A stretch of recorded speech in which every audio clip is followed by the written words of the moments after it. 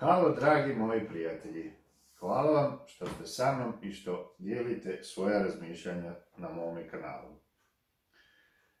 Danas bih rekao par riječi o Mikiju, o, znači, Miroslavu Đuričiću. O Mikiju bi se dalo sve reći u par riječi. To je čovjek koji je rođen u selu Kupinovu, mjestu, gradiću, šta je već. E, I sada ima 45 godina. Oženio se i dobio dijete prije ulaska u zadrugu 6. Šta treba više reći? Znači čovjek koji je čitav svoj život proveo po realitima, osvajao prva mjesta, do duše ne u ovome realitiju, za mene je Big Brother daleko e, stepenica iznad e, zadruge, jer zadruga je definitivno, po mome mišljenju, na dnu ljestvice svih realitija koji postoje na svijetu. Mnogi će reći, ko što su rekli, a ima i tamo gori i ovak, ok, sve u redu. Poštujem svačije razmišljanje. To je čovjek, znači, koji je sam rekao da je kroz reality zaradio preko pola miliona eura. Velik novac, svaka čast, ok, on ga je zaradio, on ga je potrošio. Njegova stvar, nikome ne treba gledati u njegov džep i šta radi s nečim, ali kada čovjek sam sebe eksponira na televizoru, na TV medijima, na programima, u igrama, samo sebi priča koliko novaca, šta, šta radi, da li je potrošio, koliki je kockar i tako dalje, onda to daje i nama za pravo da komentiramo stvari o njemu. Miki Đuričić, kada bih ga ja opisivao u par riječi, rekao bih da je to jedan nasilnik, dvoličan i podmukao igrač. Gledajte, kada netko odrastao, znači već formirana osoba i kada ga novinari pitaju šta je po zanimanju, a on se misli i ne zna i kaže onda kao on se bavi pčelama. I onda kažu to je pčelar iz Kupinova. A sam je rekao da se nikad nije bavio s pčelama, nego je pomagao nekom poznatom pčelaru iz njegovog kraja, i tako je sa njim radeći malo nešto naučio. Ali on osobno, ja nisam mogao nigdje pročitati da je on pčelar i da ima pčele.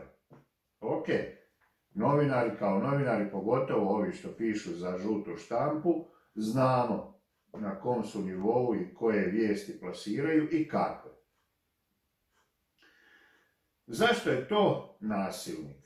Gledajte, E, Miki e, je čovjek koji je pred kamerama udario žensku osobu, ženu, curu, nebitno, znači žensku osobu.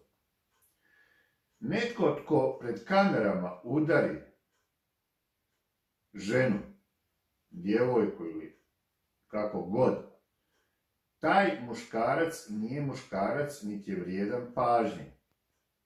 Ako je to napravio pred kamerama, šta je taj čovjek radio, šta radi i šta je u stanju napraviti tamo gdje nema kamera. Znači, e, Miki Đuričić je nasilnik koji to ne može sakriti. I samim tom činjenicom, kada se zna, kada se vidjelo, to bi trebao biti i početak i kraj svake priče o lažnom pčelaru i skupinova. Znači, taj čovjek od tog momenta nikad više ne bi trebao biti gost e, ili e, učesnik bilo kakve emisije, bilo gdje u toj državi na čitavom svijetu. Međutim, on nakon toga i dalje se provlači kroz tu kaljužu, što samim time pokazuje šta je to.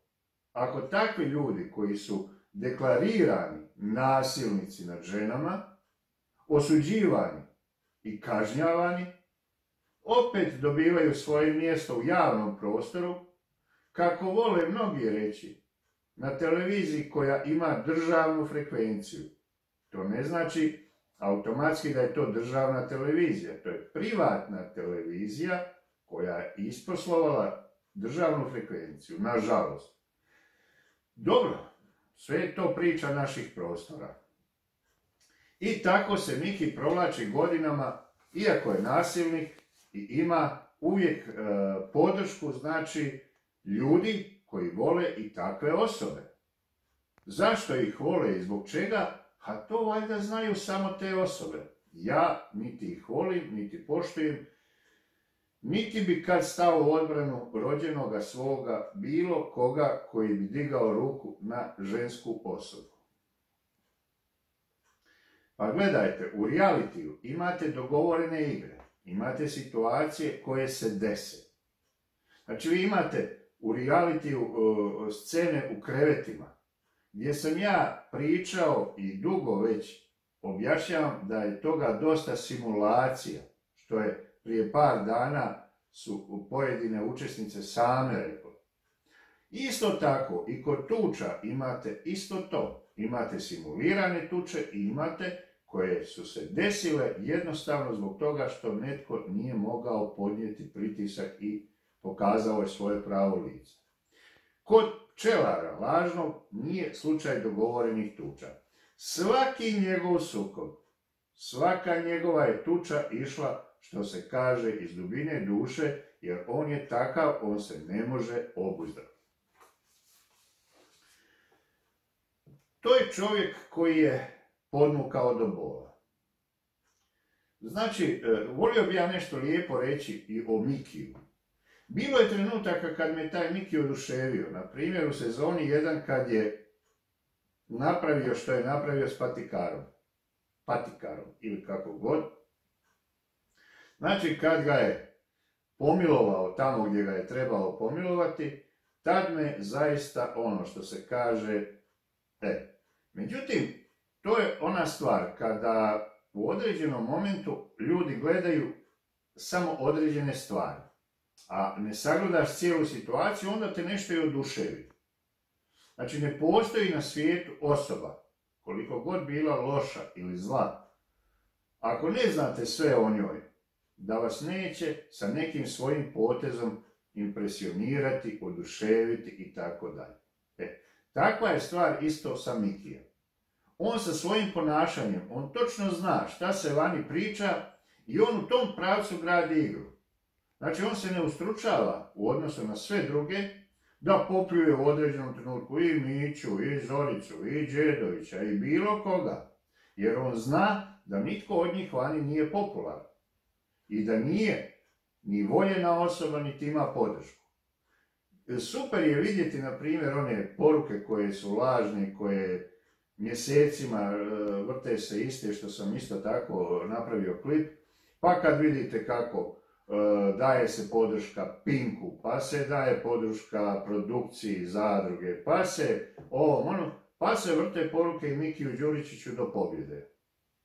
Interesantno je kako to da bi jedan takav čovjek trebao imati podršku naroda, do pobjede, jedan nasilnik koji je javno znači, udario ženu i sad bi ga trebalo voditi do pobjede. A na primjer neke druge ženske osobe koje su uništile same svoj život su popljuvane i gažene da se ne može to opisati riječima koje su u našim riječnicima.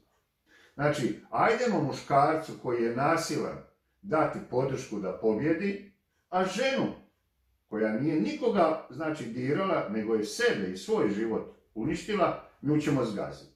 E to ja ne mogu razumjeti nikada, iako sam muškarac, ali u takav sklop muške glave se nikako ne mogu staviti i tako razmišljati ili shvatiti takve osobe. Bilo je muške ili ženske koje podržavaju takve, znači, tipove. Ako bi mi išli dalje u dublju analizu Mikija Đuričića Miroslava, ja sam pronašao dosta crta paralelnih linija sa Miljanom Kulić. Miljana Kulić se ne može, znači u momentu kad ona odluči da nekoga treba bilo šta napraviti ili šta znam, ovaj, udariti, ne daj Bože, i ono što se kaže najstrašnije, E, isto tu crtu vi možete pronaći kod Mikija, kod lažnog pčelara. I kad bi još dalje razmatrali, dosta je tih poklopnih linija između njih dvoje. Ali o tom potom. Ovaj put bi samo ukratko htio reći svoja iznijeti razmišljanja o lažnom pčelaru, jer me dosta vas pitalo šta ja mislim o Mikiju. Evo, ja sad iznosim i kažem ono što mislim, volio bih da bi, kada bih mogao dosta toga lijepog reći, ali nažalost, kad se vratim od prve sezone, gdje je bio strašno loš i, i bezobrazan i, i, i podmukao i radio je što je radio uh, i tako dalje se razvijalo gdje je sam poslije priznao stvari gdje je pogriješio, a vrlo je on dobro znao i tad da griješi, ali sve su to stvari koje se rade zbog novca. I gledajte sad, prije ulaska, znači sad u zadrugu šest, Miki, lažni pčelar, se ženi. Svi njegovi su sretni oko njega, priče, kamere. Rodilo se dijete, čestitaju svi, pa svaka čast, ajde.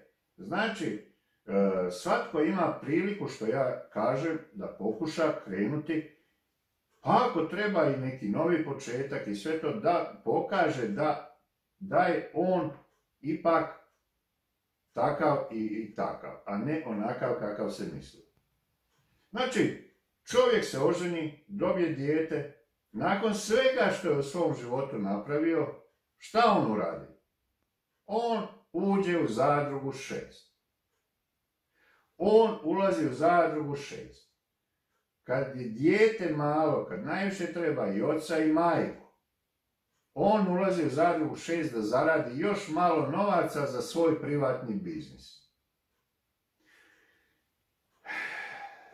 Gledajte, taj ulazak u reality, u zadrugu šest, je samo slika Nikija i pokazatelj da se u tom čovjeku i taj čovjek nije ni za milimetar promijenio sa svojim brakom i sa dobitkom nečega najvrijednijeg na ovome svijetu. Jer da jeste se promijenio, on nikada ne bi više zakoračio u Šimanovce, tamo, znači, ma ne bi ni pogledao televiziju sa tim programom, a kamoli da se vrati u taj brlog i to smetište. Dobro. Kažem, ponavljam, to su moja razmišljanja. Kada poslušate vokabular riječi Mikija Đuričića u zadruzi šest, on ne da je, on ne da je ostao na toj razini od, od prije. Taj vokabular je postao još ogavniji. Pa ja sam, e, slušajući neke klipove gdje on priča pojedincima šta će i kako će raditi, šta trebaju raditi, to je toliko odvratno. Opet ponavljam, nakon ženitbe i dobivanja nečeg najvrijednijeg na svijetu. On svoj vokabular riječi u toj kaljuži još više spušta tako da to ostane zabilježeno da se imaju čime ponositi njegova obitelj i njegovi najbliži. Koji u tom selu ga toliko vole da mu idu zapaliti kuću. To je opet, kažem, ono što smo vidjeli i šta se dešava Znači, gdje ima vatre, ima i dima. Ne kažem ja da kod njega nema nešto i dobro, ali ja osobno to nažalost ne vidim. Moje mišljenje da od njegovog privatnog biznisa nema ništa, ali nažalost ja mislim da i onaj tko bi trebao od njega najviše dobiti, to ne dobiva, to je očigledno sad kad najviše treba, a da li će to dobiti u budućnosti, sami zaključiti. Eto, toliko sam imao sada u prvom dijelu da kažem o lažnom pčelaru. Ja mu želim sve najbolje u životu, kao što sam sto puta ponovio. Ja nikoga u zadruzi šest niti mrzim, niti volim. Samo iznosim svoja razmišljanja i ono što vidim, a oni što pokazuju. Hvala vam na lijepom druženju, što me pratite, hvala vam na svakoj sekundi, minuti koju potrošite na mome kanalu. Lijepi pozdrav svima i vidimo se uskoro.